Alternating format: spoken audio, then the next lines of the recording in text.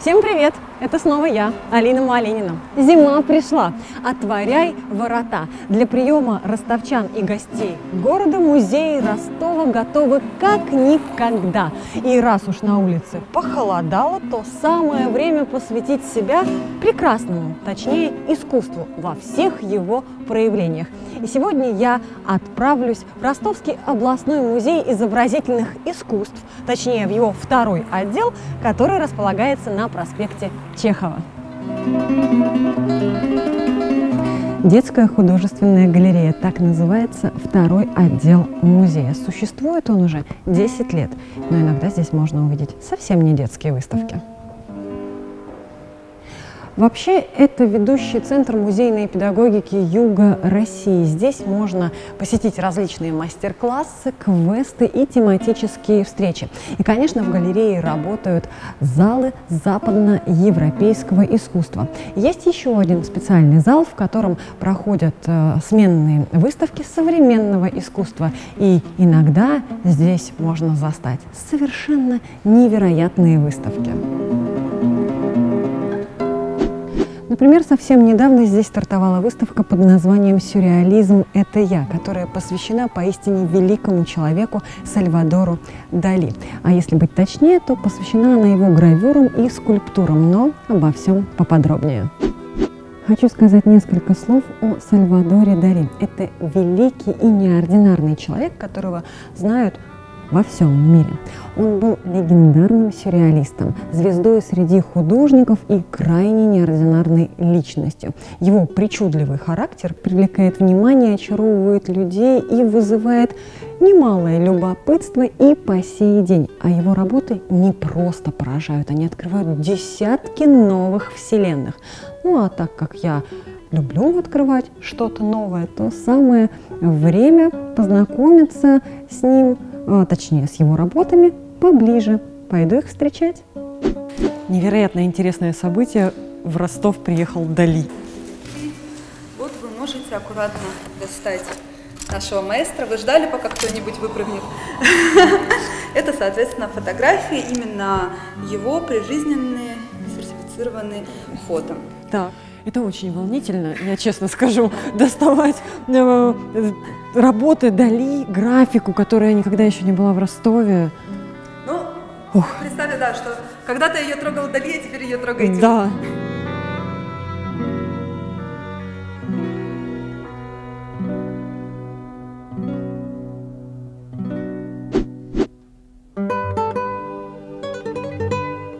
Всего на выставке представлено 11 серий гравюр и стеклянные скульптуры. Тематически выставка разделена на три зоны, три так называемых зала. Один зал посвящен великому, прекрасному, страстному чувству любви. Здесь можно увидеть разные тематические гравюры относительно этих эмоций. А есть зал, который посвящен э, священному писанию. Там можно увидеть гравюру на тему священной книги под названием Библия.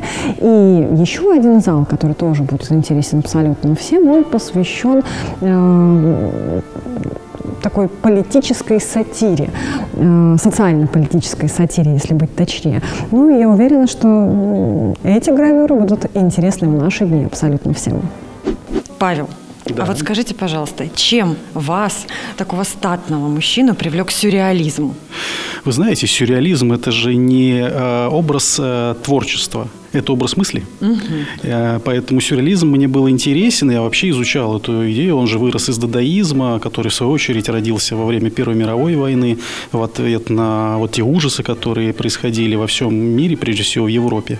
И сюрреализм, как образ мышления, как образ э, вообще жизни, э, он очень интересное явление. Мне, в принципе, нравится изучать вот, это, вот, вот этот период жизни нашего европейского человечества. Ну, судя по вам, можно сказать, в тихом этом омуте черти водятся после такого объяснения. А есть ли у вас любимая какая-то серия, либо гравюра Сальвадора Дали? Ну вот мы как раз э, рядом находимся с серией, э, посвященной Дон Кихоту. Угу. И я бы сказал, что она мною очень ценима, так как э, Дали сразу несколько инноваций ввел как график. Он вообще был инноватор, конечно, но здесь он превзошел и самого себя. Недаром в Эрмитаже именно эта серия работ выставляется как высшее достижение Сальвадора Дали как графика. Дело в том, что вот видите на работах такие кляксы, да, вот они. Угу. в свое время Дали сказал, что он не прикоснется изначально руками к этим работам и создаст их, не прикасаясь руками, создаст шедевры.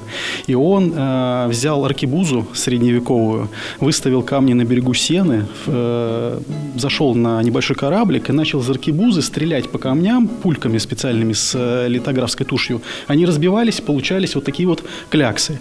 Потом он э, на Монмартре взял рога единорога, начиненные тушью вместе с мякишем хлебным и начал проводить вот такие вот линии. Вот видите, появились линии. И уже после этого в, появившиеся вот эти кляксы и линии он вписал все остальные образы и, Дуси, и Дульсинею, Санчо Панса, и Дон Кихота. И таким образом родились э, вот эти работы Дон Кихота, и родилась новая техника нанесения краски на литографские камни, которые назвали булизм. Под слово от французского слова «буль» – «пуля» у нас на Руси говорят «голь на выдумке хитра» по этому, по этому поводу.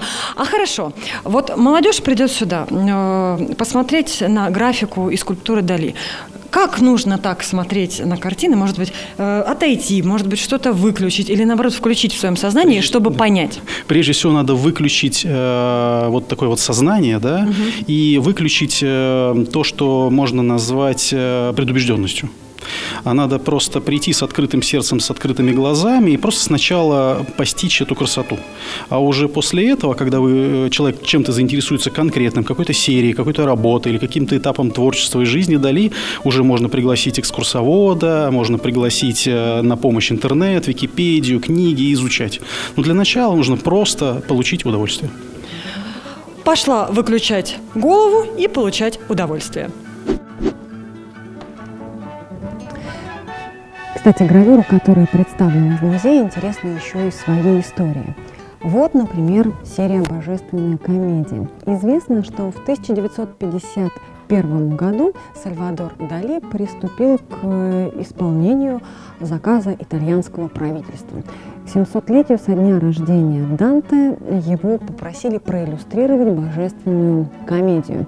И он начал работать э, над акварельной серией для каждого стиха, изображая ад, чистилище и рай. Ну и чтобы вы понимали, на создание всех образов у художника ушло 9 лет. Существует стереотип, что многие гениальные творцы принимают наркотики для того, чтобы найти источник для своего творчества. Ну, собственно, понять-то можно, почему так люди думают. Но Сальвадор Дали в этом замешан не был. Более того, он заявлял, я наркотики не принимаю, я и сам наркотик. Я ему охотно верю. Для того, чтобы входить в творческое состояние, он применял э, параноидально-критический метод, который, кстати, придумал сам. И, например, в этом методе был такой э, ход. Сальвадор Дали очень долго пристально смотрел на предмет, пребывая в таком неком да, э, состоянии. Э, он смотрел на него настолько долго, пока предмет этот самый не начинал менять форму и тем самым вызывал галлюцинацию. И таким образом ему приходили какие-то образы и картины, которые он потом зарисовывал. А что из этого получалось, можем наблюдать.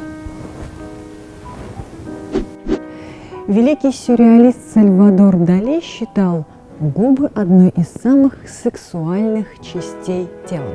По его мнению, именно они способны были передать мистическое начало, тайну и соблазн. Вдохновленная актрисой Мэй Уэст, которая, к слову сказать, была жуткой скандалисткой, не обладала пухлыми губами, но вдохновляла художника своей красотой и талантом, в 1937 году художник приложил руку к созданию алого сатинового дивана, который стал эротическим символом эпохи.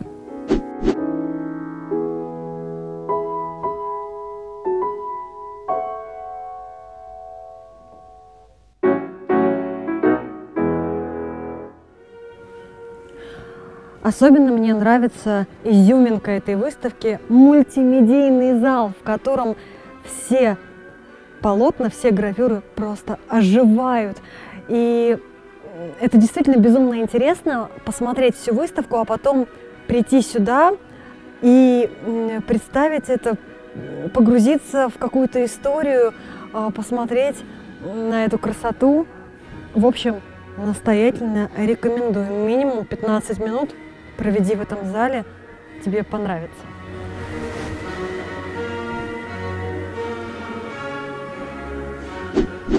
Расширив свое сознание, я получила массу творческих идей. Срочно нужно их реализовать. Поэтому я поехала, а ты обязательно приходи на выставку «Сюрреализм – это я».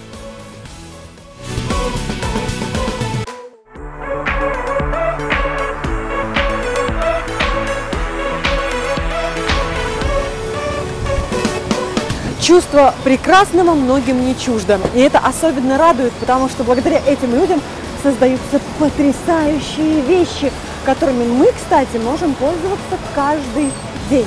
А, так что настраивайтесь на а, прекрасное, на искусство и создавайте, творите. А я, а я, а я уже приехала именно туда, в то самое прекрасное, удивительное место, сотворенное руками человека на автозаправочный комплекс Shell.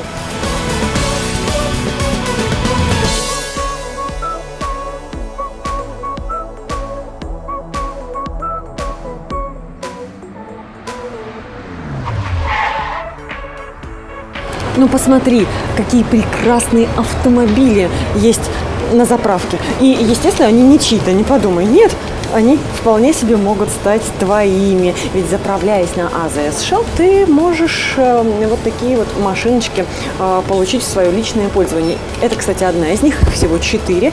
И ты можешь собрать свой крутой автопарк. Работают они на соленой воде. Угу, да-да. Но э, если тебе вдруг э, понадобится э, соль для э, чего-то другого, зима все-таки впереди, то можешь приобрести аккумулятор и будешь на них гонять. Причем не просто так, а на гоночном треке, который тоже уже есть. Представляешь, ну чудо чудное, диво дивное. В общем, твои вечера э, в ближайшее время вполне могут э, перестать быть томными. Ты просто не сможешь оторваться э, от этих крутых гоночных машинок. Между прочим, инновационная разработка. Так что начинай свою гонку с АЗС Shell и развлекайся. А я тоже помчала.